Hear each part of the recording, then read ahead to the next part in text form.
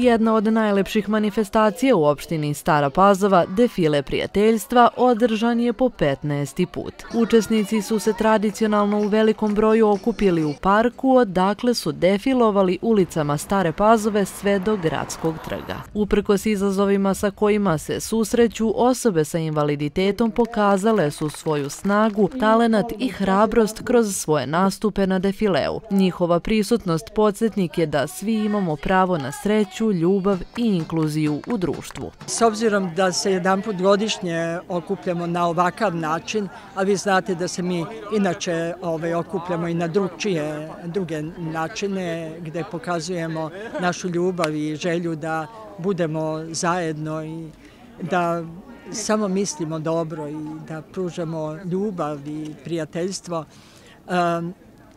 Kad bih rekla da bih voljela da bude češće, ne bih zato što baš se ovako sublimira u jednoj godini, u jednom defileu, sve ono valjda što, što preko cele godine još ovaj, dodajemo našim osjećanjima i željama. Događaj su uveličala kulturno-umetnička društva iz Stare Pazove kao i dečica iz prečkolske ustanove Poletarac koja su pripremila prigodan program. Njih smo ovom prilikom i pitali da li znaju šta je prijateljstvo.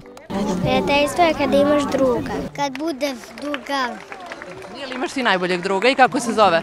Fi, imam druga i Filip, David, Nikola, Mako.